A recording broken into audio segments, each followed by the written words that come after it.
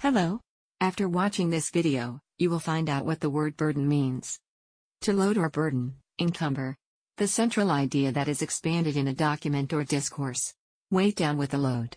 An onerous or difficult concern, the burden of responsibility, that's a load off my mind. Impose a task upon, assign a responsibility to, he charged her with cleaning up all the files over the weekend. The central meaning or theme of a speech or literary work. Something to be borne or conveyed. Way to be borne or conveyed. An onerous or difficult concern, the burden of responsibility, that's a load off my mind. An onerous or difficult concern. Impose a task upon, assign a responsibility to.